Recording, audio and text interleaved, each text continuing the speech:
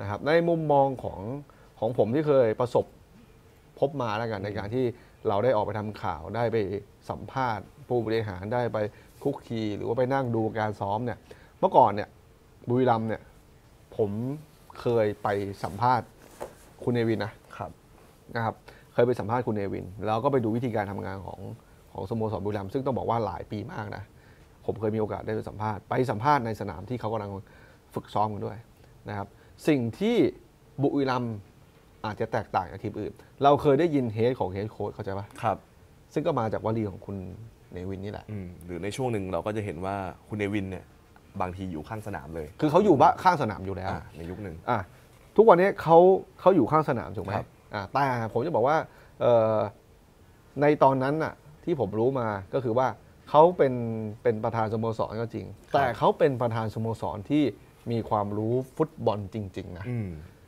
เขาอาจจะไม่ได้ไปแก้เกม เราอาจจะมองเห็นว่าเฮ้ยคุณเนวินไปแก้เกมหรือว่าอะไรหรือเปล่าเนี่ย อันเนี้ยผมไม่สามารถจะตอบได้ หรือว่าใครก็ไม่สามารถจะตอบได้ แต่ที่ผมรู้แน่ๆเนี่ย คุณเนวินเนี่ยไปดูการฝึกซ้อมแทบจะทุกวันขับมอเตอร์ไซค์เนี่ยไปดูซ้อมคำถามคือประธานสโมสรทีมอื่นเนี่ยไปนั่งดูซ้อมแบบนี้อย่างคุณเนวินทุกเกมไหมหรือไม่อย่างไรอืมน้อยครับไม่เห็นละอ่าน้อยนะอ่าแต่คนน่ะจะรู้ไหมว่าเขาอะไปดูซ้อมจริงๆ พอเขาไปดูซ้อมเขาจะรู้เลยว่านักเตะเนี่ย ซ้อมได้ไหมครับเล่นได้ไหมอืมไอ้นี่ดีไหมไอ้นี่ดีไหมไอ้นั่นไม่ดี เขาจะตอบได้เขาจะตอบได้ แต่เอ่อสมมติลงวันแข่งลงไปเล่น 11 ตัว ถ้าจะอันนี้ผมคิดเองก็ได้นะเอ่ออันนี้อาจจะไม่ได้เป็นอย่างนั้นก็คือว่าสมมติถ้าจะมีการเปลี่ยนตัว หรือจะมีการสับเปลี่ยนในการ tactic ต้องมาคุยกับเขาก่อน ก็คงต้องมาคุยเพื่อบอกเขาให้เขารู้ก่อน คือถ้าโค้ชแต่ละคนจะจะเลือกจะเปลี่ยนแก้เกมยังไง คือต้องเดินเดินมาสอบถามคุณคือเนวินก่อนผมว่ามันก็ต้องมีการคุยกันปรึกษากัน ครับ แต่คุณเนวินจะบอกว่าเอ้ยเปลี่ยนนี่เอ้ยผมว่าผมรู้สึกว่าแบบนั้นไม่ใช่ อืม แต่เขาต้องรู้ว่าไอ้สิ่งที่โค้ชคิดหรือแก้เกมเนี่ยใช้ logic ในการแก้อย่างไร อืมคือปกติเหตุการณ์แบบเนี้ยผมว่ามีอยู่แล้วแหละอ่าแต่หมายถึมีงว่ามันไม่เกิดมันไม่เกิดระหว่างเกม ถ้าเป็นทีมอื่นนะอ่าไม่ได้เกิดระหว่างเกมการแข่งขัน อ่า อาจจะเป็นอุ้ยหลังจบเกม อ่า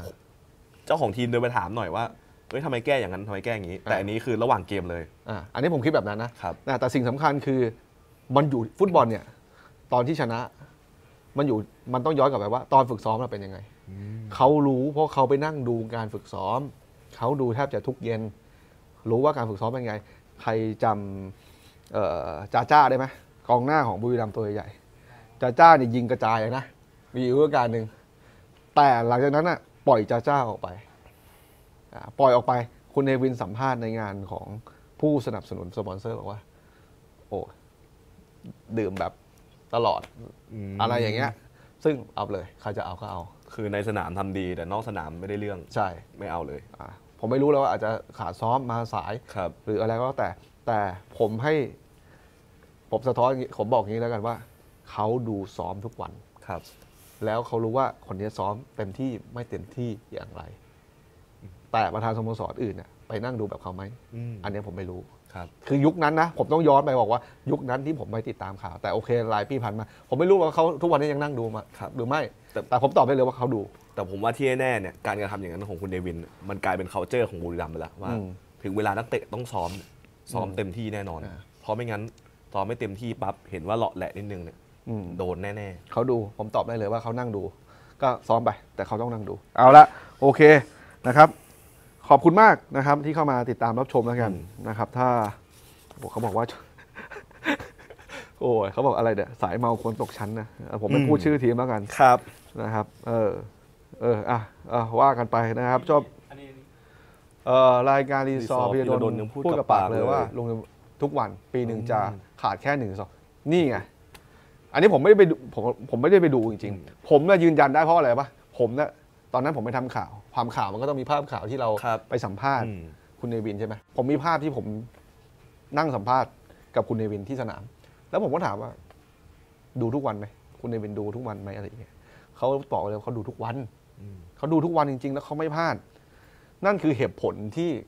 บุรีรัมย์แตกต่างจากสโมสรอื่น เงินก็มีอืมเอ่ออะเงินมีเอ่อผู้ประธานรู้ฟุตบอลครับ อันไหนแก้อันไหนเอ่อต้องทำอะไร โดยที่ก็ก็ก็อย่างที่เขาบอกอะเฮดของเฮดจริงอืมๆนะครับผมผมบอกได้แค่นี้นะครับคือเฮดของเฮดจริง ๆ ก็ถ้ามันมีคนที่เป็นประธานแล้วไปนั่งดูอย่างเขาได้อะอืมแล้วก็เอ้ยรู้รู้ปัญหาของทีม ไอ้นี่ไม่ซ้อมอืมนักบอลไอ้นี่มาสาย ไอ้นี่ไม่เต็มที่เนี่ยเขาเขาตอบได้หมดครับ นะครับแล้วสุดท้ายเนี่ยมันก็สะท้อนออกมาด้วยผลงานของบุรีรัมย์เนี่ยใช่ที่โอ้โหคว้าแชมป์ลีกเขามั่นใจเลยสมมติฤดูกาลที่แล้วเนี่ยโดนแบงคอกนำทิ้งห่างไปช่วงแรก